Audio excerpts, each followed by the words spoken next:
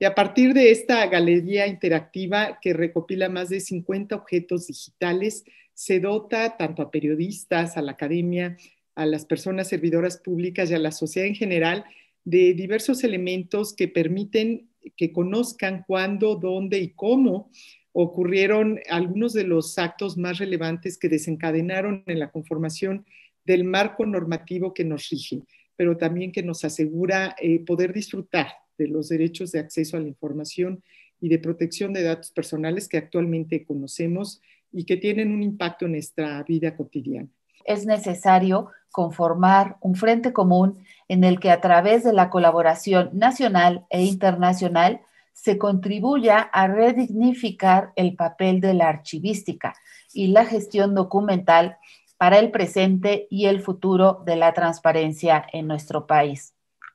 Aprovechemos, pues, la oportunidad que se nos brinda en este espacio para promover el fortalecimiento de la cultura archivística como un medio indispensable para garantizar el ejercicio del derecho de acceso a la información, el derecho humano a la protección de los datos personales y, por supuesto, con ello, abonar en el empoderamiento de las y los ciudadanos. Todos los que hemos pasado por el IFAI INAI hemos hecho voluntaria, consciente e inconsciente e involuntariamente cosas en favor de la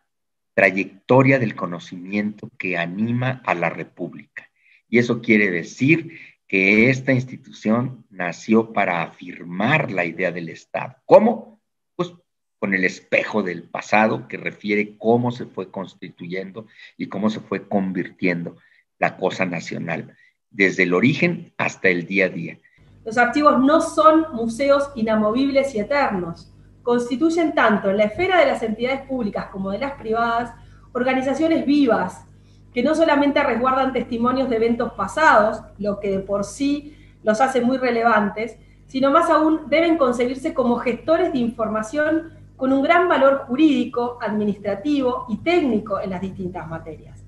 Esta exposición nos recuerda y estará literalmente al alcance de nuestras manos para analizar, pero también para entender dónde estamos y cómo hemos llegado precisamente a las alturas en las que hoy nos encontramos.